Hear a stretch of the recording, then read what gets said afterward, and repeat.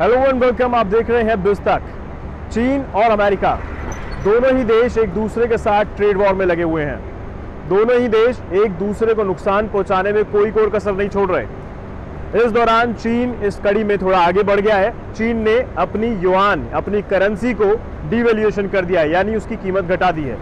इससे क्या होगा? अंतर्राष्ट्रीय बाज़ार में चीन की मुद्रा घटने से चीन के प्रोडक्ट सस्ते में मिलेंगे और दुनिया भर के प्रोडक्ट के मुकाबले कीमत चीन के प्रोडक्ट्स की कम होगी।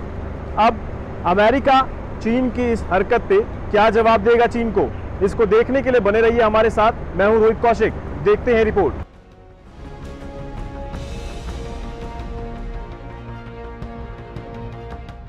एक तरफ़ चीन ने अपने युआन की कीमत गिरा दी, दूसरी ओर अंतर्राष्ट्रीय मार्केट में चीनी प्रोडक्ट्स की कीमत कम हो गई है। चीन के इस फैसले का सबसे ज़्यादा नुकसान अमेरिका और उसके सहयोगी देशों को झेलना पड़ रहा है, जो अंतर्राष्ट्रीय मार्केट में भारी तादाद में अपने प्रोडक्ट्स को निर्यात करते हैं। ऐसे में अमेरिका ने चीन को सबक सिखाने के लिए चीनी करेंसी युआन को ब्लैकलिस्ट में डाल दिया है। अमेरिकी ट्रेजरी डिपार्टमेंट ने चीन को करेंसी मैनिपुलेटर के तौर पर लिस्टेड कर दिया है। दरअसल, चीन ने अपनी करेंसी युआन का बहुत ही चलाकी से अवमूलन, यानी डिवेल्यूशन कर दिया। इसके चलते अमेरिका और चीन जैसे दो सबसे बड़े अर्थव्यवस्थाओं के बीच व्यापारिक मोर्चे पर चल रहे टकराव के गहराने की आशंका है।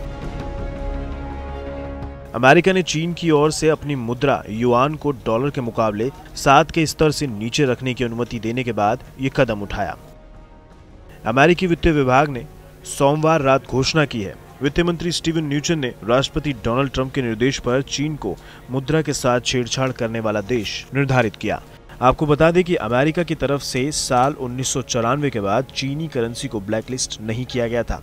बीते सोमवार को चीन ने अपनी करेंसी का डिवेल्यूशन करके उसे 11 साल के सबसे निचले स्तर पर पहुँचा दिया है।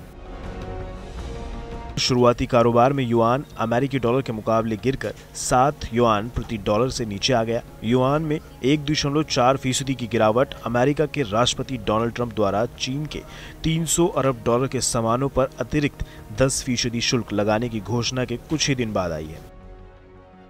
अमेरिकी राष्ट्रपति डोनाल्ड ट्रंप ने अपने एक ट्वीट में कहा था, चीन अनुचित व्यापार गतिविधियों और मुद्रा की विनिमय दर में छेड़छाड़ करके अरबों डॉलर अमेरिका से लेता रहा है। उसका इरादा आगे भी इसे जारी रखने का है। ये एक तरफा है, इसे कई साल पहले ही बंद हो जाना चाहिए था। ट्रंप ने 2016 में राष्ट्रपति चुनावी अभियान के दौरान चीन को मुद्रा के साथ छेड़छाड़ करने वाला देश मान रखा था। लेकिन वित्त मंत्रालय ने यह कदम उठाने से इनकार करते हुए चीन को निगरानी सूची में डाल रखा था। खैर, अमेरिका ने तो चीन के युआन को ब्लैकलिस्ट कर दिया। मतलब ये हुआ कि अब अमेरिकन कंपनियाँ चीन के साथ कोई भी कारोबार उसकी करेंसी में नहीं करेंगी। लेकिन इससे चीन की अर्थव्यवस्था पर कोई असर पड़ेगा? ये कहना थोड़ा मुश्किल है। आपको क्या लगता है? कमेंट बॉक्स में हमें ज़रूर बताएँ। रिपोर्ट देखने के लिए धन्यवाद।